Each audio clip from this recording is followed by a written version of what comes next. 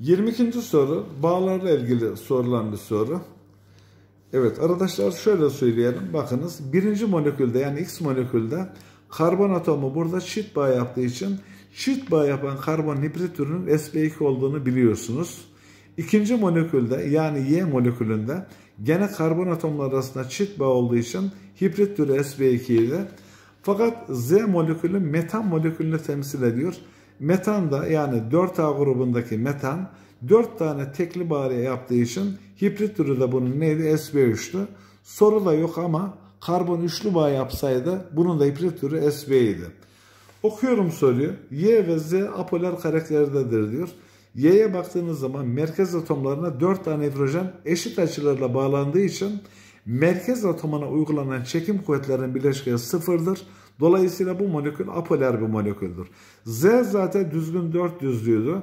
Karbona 4 tane hidrojen eşit açılarla bağlanmış. Bu molekül de apolardır. Birinci ifadeniz ne olmalı? Doğru. 2. X ve Y molekülündeki karbon atomlarının hibrit orbitallerindeki S karakteri Z molekülündeki karbon atomunun hibrit orbitallerindeki S karakterinden büyüktür demiş. Bakın. Şimdi sp2 hibritleşmesine baktığınız zaman burada evet 3 tane orbital gibi düşünebilirsiniz. 1 bölü 3 oranında S karakteri 2 bölü 3 oranında da P karakteri var. Dolayısıyla burada X ve Y moleküllerinde karbon hibrit türü aynı olduğu için S karakteri burada 1 bölü 3'tür. Evet.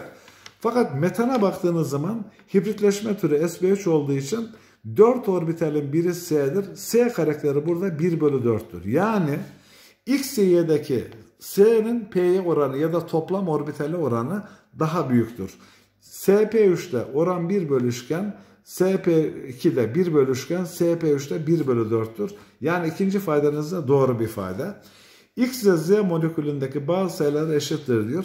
X'e baktığınız zaman 4 tane bağ var. 3 tane sigma, bir tanesi pi. Z'ye bakıyorsun 4 de sigma bağ. Dolayısıyla bağ sayılar aynı olduğu için bu da doğru bir ifade. Cevabınız Edirne diyeceğim.